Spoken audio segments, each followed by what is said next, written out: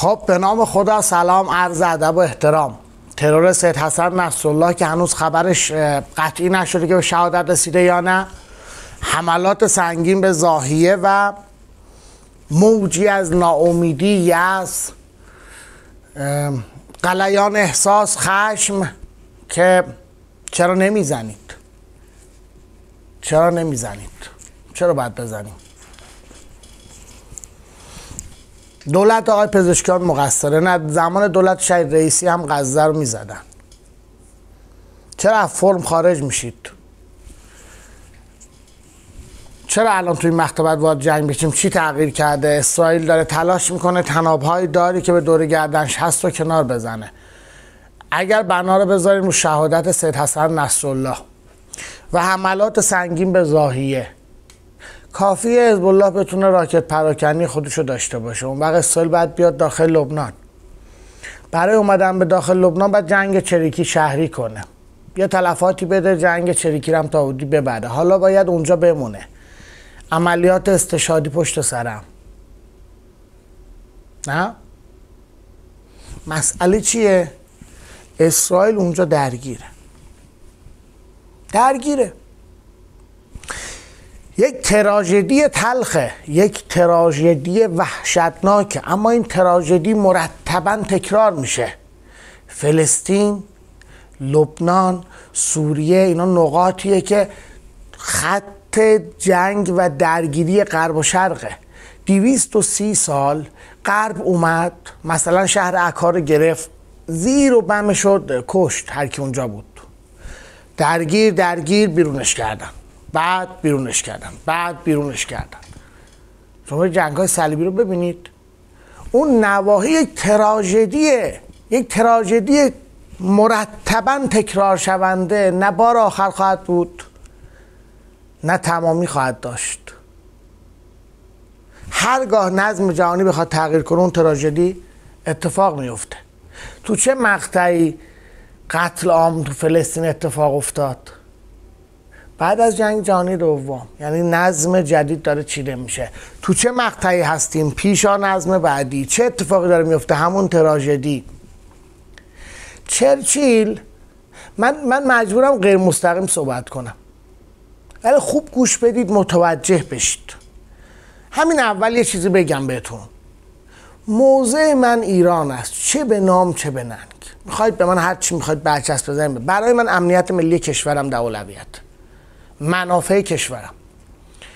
اگر جمهوری اسلامی ایران تصمیم بگیره حمله کنه وارد جنگ بشه. اگر تصمیم بگیره پاسخ نده پشتشم اما بیاید یک مروری کنیم. چه چه راجع به لهستان چی میگه؟ لهستان جغرافیای بین آلمان و روسیه است. گاهی توی تاریخ وجود نداره گاهی برمیگرده اسمش. میگه لهستان یک تراژدی تکرار شونده بیپایان تلخه.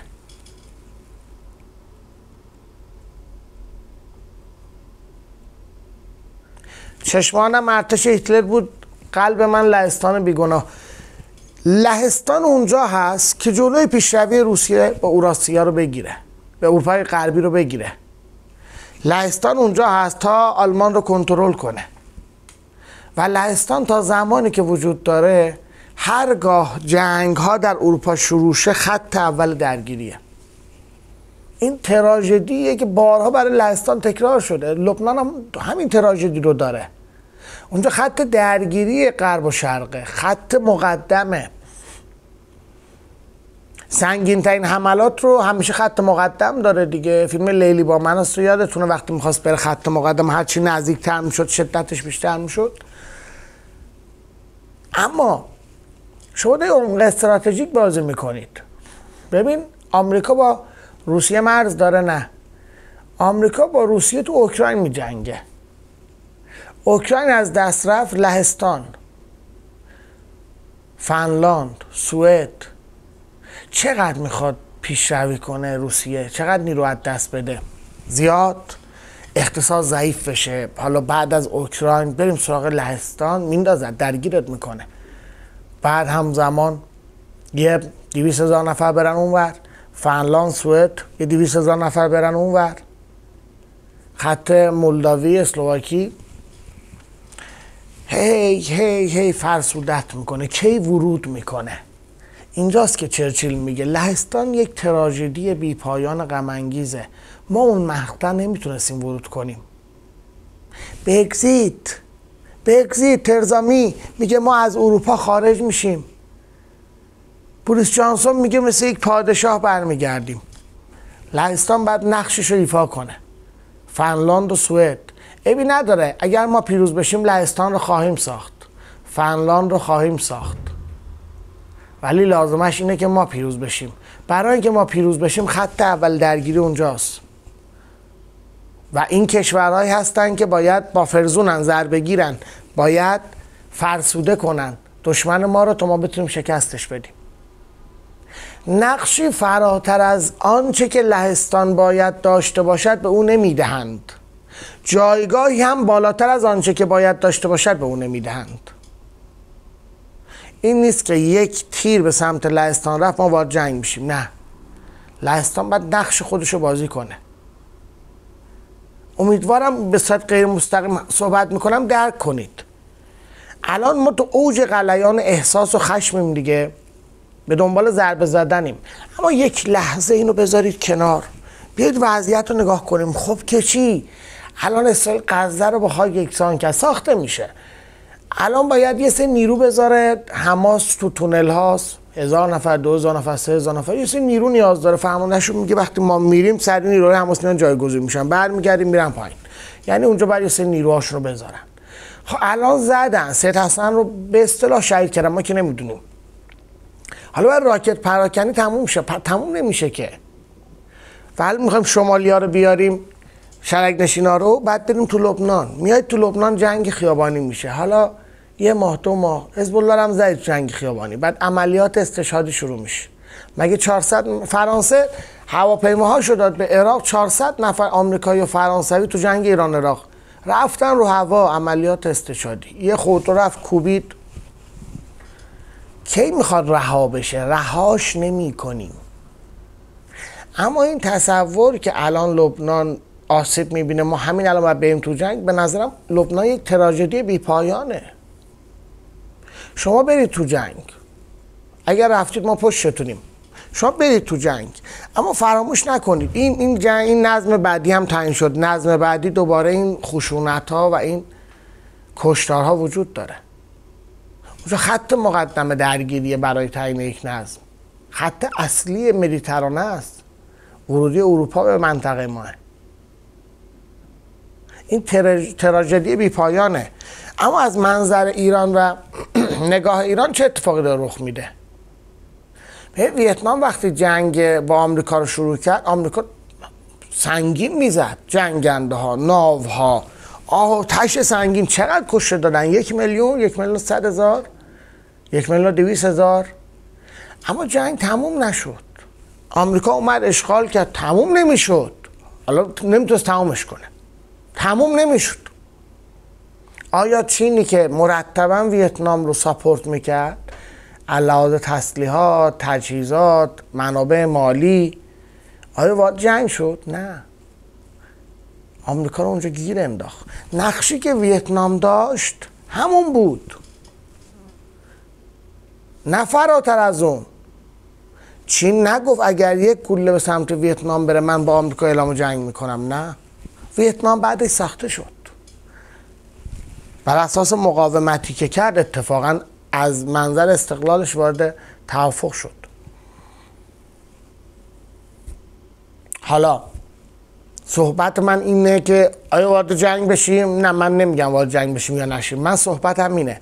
آیا اسرائیل تونسته خلاص بشه؟ آیا به این سادگی می‌تونه خلاص بشه؟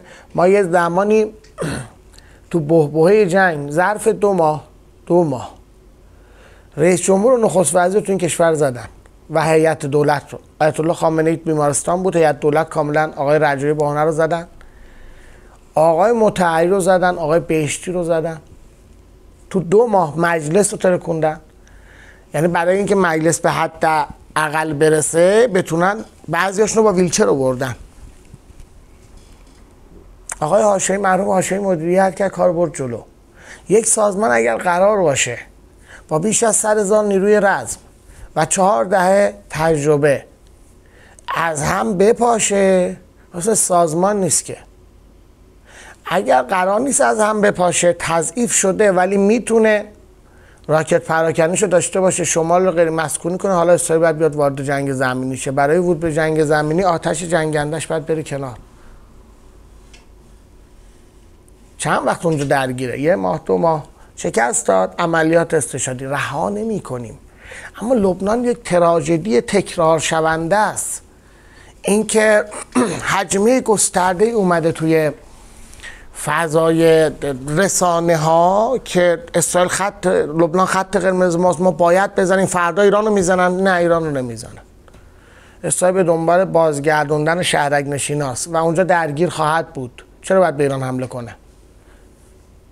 آره می‌تونه حمله کنه. ما بزنیمش اونم مجبورشه بزنه. ما بزنیم تو موقعیت ضعف قرار بگیره آمریکا بیاد بزنه. ما بزنیم بزنه ما بزنیم. باشه اگر نیاز شد. الان حریف شما گیر افتاده. درگیره. خشونتش افزایش پیدا کرده. خشونت کلامیش افزایش پیدا کرده. به نظر تو چه مقطعی اصلا می‌تونه اعتلاف کنه عادی سازی روابط کنه فقط بکشه. الان باید هی بکشه. مردم بکشه. الان بن سلمان می‌تونه بره با عادی سازی کنه به نظرتون؟ اون بعد بکشه آخه. هی بکشه. و باز هم بکشه. به نظر تو الان میشه رفت راهن کشیده از عربستان به اسرائیل؟ تو اون بعد بکشه هنوز. نه. چرا باید حمله کنیم؟ بذارید بیان داخل. آدم زمانی وارد جنگ میشه که آخرین مرحله باشه. عملیات پرل هاربر رو ببینید. یک عملیات فریب بود. همشون اطلاع داشتن. 22 روز قبلش رمزگشایی کرده بود ارتش بریتانیا. برای آمریکا فرستاده بود آمریکایی همه در جریان بودن در بالاترین سطوح. به جز فرماندهانی که تو پرل هاربر بودن. همزمان ژاپن در مذاکره با آمریکا بود. شروط سنگینی آمریکا براش گذاشت که غیر ممکن بود پذیرفتنش و ژاپن وارد حمله پرل هاربر شد در حالی که اونها اطلاع داشتن. همه چیز بردن گذاشتن از قصد اونجا چون می‌خواستن وارد جنگ بشن. کی؟ وقتی که اروپا به قفل شده بود. اروپا قفل شده بود. تموم شده بود کارشون زیر ساختاشون خورده بود. مثل فاتح اومد. ژاپن تصمیمات خیلی بهتری داشت. خوب بازی کرد وارد جنگ نشد نشد نشد. اما اگر تشخیص درست تری داشت برای ورود به این جنگ سعی می‌کرد ابتدا بازی اروپا رو بفهمه. سعی می‌کرد ابتدا اعتلاف ها رو بفهمه. اعتلاف شوروی با بریتانیا یا آلمان با بریتانیا؟ کدوم سمت رئیسم ما برای ورود به یک جنگ اول باید ببینیم روسیه آمریکا چین روسیه. چین جدا آمریکا جدا روسیه جدا. کدوم سمت ایستادن؟ تا اون موقع گریز از جنگ. ورود به جنگ در زمان خودش. دیپلماسی. یه نکته هم بگم انقدر دولت آقای پزشکیان نزنید. ما نیاز داریم تو این مقطعی که سایه جنگ بسیار جدی در داخل وفاق داشته باشیم. اگر بخوایم خیلی اصلاح طلب اصولگرش کنیم صلاح نیست. عقلانی نیست. ما جامعهمون لحاظ مدنی دو پاره است. انگولکش نکنید. یه مقدار بذارید حداقل به ظاهر هم شده وضعیت در داخل با ثبات باشه. این نیستش که الان پزشکیان اومده اسرائیل داره می‌زنه. دولت شهید رئیس هم غزه می‌زنه. اسرائیل چاره ای نره. اسرائیل داره میره عقب. هول داره میشه عقب. الان هم که داره بیروت رو می‌زنه امیدوار به اینه که حزب الله تسلیم بشه. تسلیم نخواهد شد. نیروی ایدولوژیک تسلیم نمیشه. برای خدا داره میجنگه و اگه نشه حالا حالا این جنگ ادامه داره و اسرائیل بعد بیاد داخل لبنان. جنگ شهری کنه. بعدش عملیات استشهادی. کلی نیرو اونجا بذاره اونجا رو حفظ کنه. کلی کرانه کلی تو غزه کلی جولان. عملا از مدار بازی خارجه. تو وضعیت نظامی جنگی میمونه و اصلا نمی‌تونه طرحهای چه می‌دونم عادی سازی و کریدوری و اینا اینا رو پیش ببره. ما در داخل الان باید یه مقدار احساس رو کنترل کنیم خشم رو کنترل کنیم. اگر جمهوری اسلامی ایران تصمیم داره حمله کنه پشتشیم اگر نه بازیشو ادامه بده. این تراژدی مکررن تکرار خواهد شد. همونطور که با پیدایش اسرائیل برای فلسطینی تکرار شد و لبنانی ها قبل از اومدن حزب الله لبنان لبنان در اشغال اسرائیل بود. ربطی به حزب الله اینا نره. حزب الله اومد در واقع لبنان را آزاد کرد. چگونه؟ 1982 تشکیل شد آیا لبنان آزاد شد؟ 2000 آزاد شد. 2000 بود کشیدن بیرون. 2000 بود پذیرفتن. چرا؟ چون 15 سال هزینه بهشون دادیم. 15 سال چرا؟ چون لبنان اون تو ارتش اسرائیل به بهانه چه می‌دونم ارتش یه ارتش درست کرده بودن. ارتش همون لبنانی مال اسرائیلیا بود. اینقدر که زدنشون. هی عملیات استشادی عملیات اصلا تروریستی رو اونجا درست کردن دیگه. بعد از اون حمله به آمریکا و فرانسه که بیش از 400 440 50 نفر کشته شدن. هزینه پشت هزینه. بعد بیاد دیگه من آمریکا نیومد تو عراق؟ انفجارهای کنار جاده. هر روز یه گروه مقاومتی جدید. اونجا مشغوله. بذارید مشغول بمونه. چیکارش دارید؟ بذارید گیر کنه. توان آمریکا در منطقه ما یعنی اسرائیل و توان اسرائیل در منطقه ما گیر افتاده. اونجا مشغوله نه رو ایران. بذارید تمرکز کنیم رو اشل بزرگتر بازی بزرگتر. اگر نیاز به ورود به درگیر شد وارد میشیم. هممون پشت همین برای اینکه هممون پشت هم باشیم اینقدر مقصر رو دولت نکنید. چون قرار پشت هم باشیم و وارد جنگ بشیم.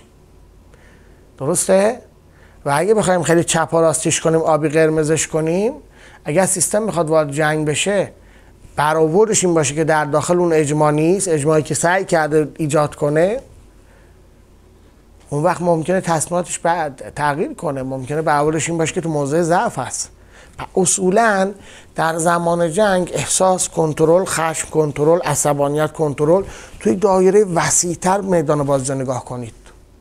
دشمن شما الان داره می جنگه داره تلاش می‌کنه این تناب ها رو از گردنش خارج کنه. شما تناب دیگری میندازید. و اونجا گیر کرده. و تا وقتی که اونجا گیر کرده نمی‌تونه با شما بجنگه نمی‌تونه شما حمله کنه. همه راه ها رو بروش نبندید. میگن یه گربه رو همه مسیرها رو ببندی بهت چنگ میندازه به صورتت. آروم. فشار کم میشه کنترل میشه دوباره ادامه پیدا می‌کنه تو فرسایش میندازیش گرفتارش می‌کنی. چرا؟ چون نقطه سقل درگیری تو اروپا و شرق آسیا خواهد بود.